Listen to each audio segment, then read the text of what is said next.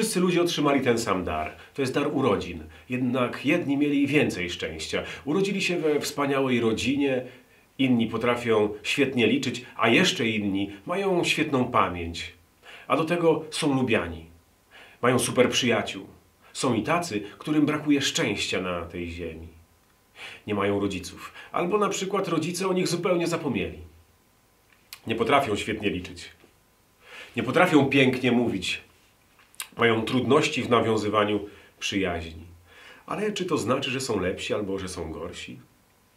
Najważniejsze, że ten, kto otrzymał więcej, może podzielić się, oddać komuś cząstkę tego, czego sam otrzymał w nadmiarze. To powoduje o naszej sile, naszej jedności, naszej przyjaźni i ostatecznie o nas samych. Gdy jednak zapomnimy, że są inni, którzy potrzebują pomocy, dobrego słowa, naszej uwagi, robimy się odporni na cierpienie. Kupujemy nowe zabawki, a kraje kupują nową broń, by zająć więcej, zdobyć nowe ziemie, jeszcze więcej produkować, jeszcze więcej sprzedawać. Zaczyna brakować miejsca dla tych słabych, tych bez super wykształcenia, bez super znajomości. Jednak zawsze taka postawa kończy się źle i to źle dla wszystkich. Właśnie w takich warunkach wybuchła pierwsza, jak i wybuchają kolejne wojny.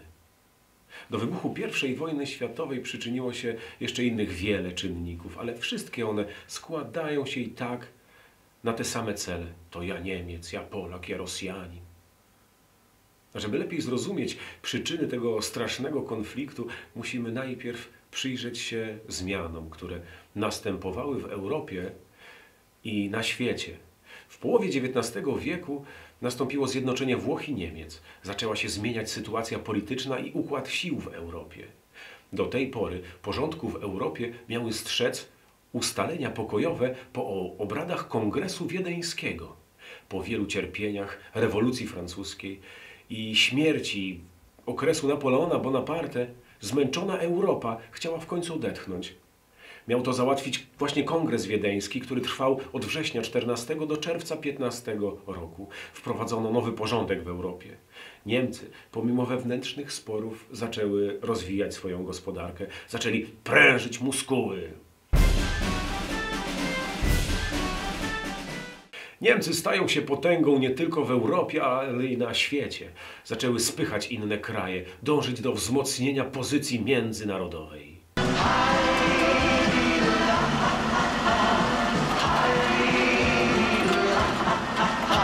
Wszystko dla nowych rynków zbytu, dla dalszej ekspansji. Zapragnęli podobnie jak Anglicy, Francuzi, Hiszpanie własnych kolonii z rzeszą niewolników. To z kolei miało zagrozić pozycji Wielkiej Brytanii i Francji. Te kraje zamieniły wcześniej wiele pięknych zakątków świata w swoje niewolnicze kolonie. Żeby swój cel wprowadzić w życie, potrzebowali Niemcy silnej armii, floty wojennej. Zaczynają więc się zbroić. Na przełomie XIX i XX wieku za wielką wodą Stany Zjednoczone po zakończeniu swojej wojny secesyjnej zaczynają szybki rozwój gospodarczy, który można nazwać dzisiaj boomem gospodarczym. Powodował on, że Ameryka stała się naprawdę potężnym krajem na świecie. W tym samym czasie na Dalekim Wschodzie rośnie w siłę Japonia. Widzicie, jakie zmiany uchodziły w Europie, na świecie. Bogactwo jednych i zniewolenie drugich powodowały o zaostrzaniu się konfliktów między ludźmi i między poszczególnymi krajami. To na przykład dziewięć dużych krajów w Europie, które zniewolone dążyły do odzyskania wolności, tak jak nasza Rzeczypospolita. A ci, którzy prężą muskuły, dalej zaczynają sobie nawzajem zagrażać. Na przykład najbardziej widoczny konflikt występował między Francją i Niemcami. Francuzi utracili w wojnie z Prusami w 1871 Lotaryngię i Alzację, a teraz chcieli po prostu uzyskać z powrotem tę ziemię. Do tego dochodzi do wielu konfliktów na Bałkanach. O wpływy tam rywalizują Niemcy, Austro-Węgry, no i Rosja. A swoją pozycję chce utrzymać dalej Turcja. Car uważał się za opiekuna, no my to dobrze znamy, ludności prawosławnej na Bałkanach. Jego celem w rzeczywistości były cieśniny na Morzu Czarnym, bardzo ważne miejsce strategiczne, e, a nie żadna opieka. Porównajcie teraz tą sytuację z zajęciem Krymu przez Rosję w 2014 roku. Zaczęli budowę silnej floty Niemcy. Wielka Brytania, będąca potęgą na morzach, poczuła się zwyczajnie zagrożona.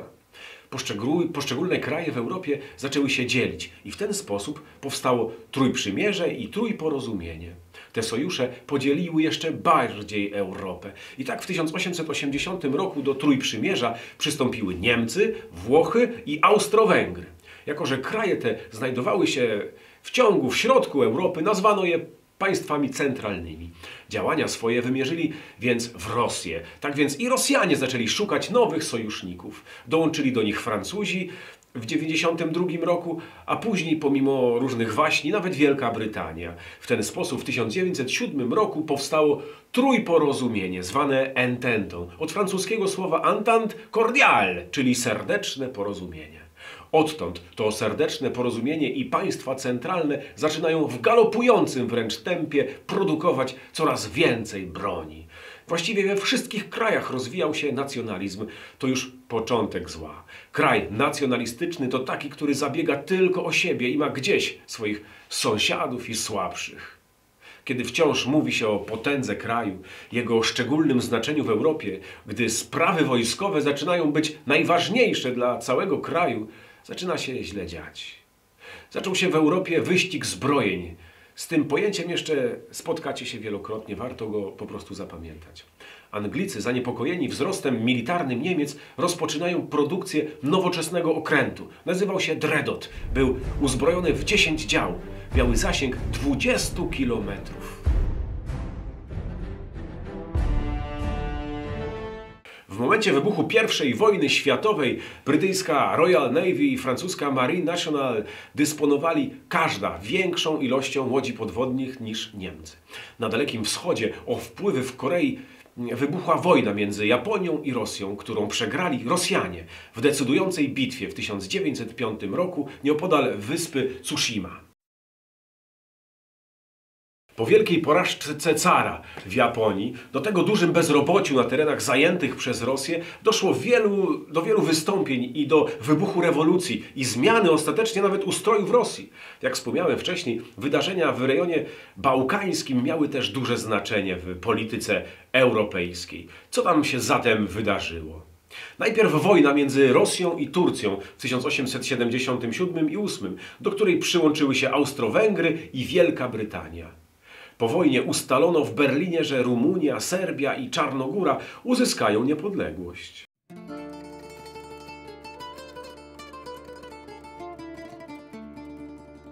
Bułgaria jednak pozostawała dalej lennem Turcji.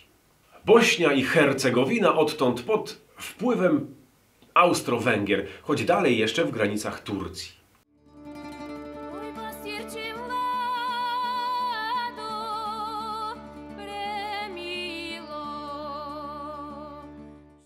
Austro-Węgry dążyły do całkowitego zajęcia Bośni i Hercegowiny. Do tej aneksji doszło w 1908 roku. Zaprotestowała Rosja i Serbia. W 1912 wybuchła pierwsza wojna bałkańska. Turcy zostali pokonani przez koalicję Rosji, Serbii, Czarnogóry, Bułgarii i Grecji. Turcy stracili wówczas większość ziem w Europie. Powstało także nowe państwo Albania. Już rok później wybuchła druga wojna bałkańska. W 913 roku została wywołana przez Bułgarię, która była niezadowolona po pierwszej wojnie. Bułgarzy jednak ją przegrali i ze swoimi sprzymierzeńcami stracili dużo, a Bułgarzy wszystko, co zyskali w pierwszej wojnie. Po drugiej wojnie bałkańskiej sytuacja dalej była niewyjaśniona. Teraz już wiecie, dlaczego ten konflikt nazwano kotłem bałkańskim. To właśnie tam mieszały się wpływy wielkich mocarstw europejskich. To już tylko mały włos dzieli świat od I wojny światowej, która pochłonie wiele milionów istnień ludzkich. Wszystko po to, by zdobyć, by ujarzmić i zniewolić drugiego człowieka. Braterstwa zatem życzę Wam, równości i wspólnej troski tak bardzo nam cały czas potrzebnej. Dziękuję Wam za tą kolejną lekcję i do zobaczenia na następnej.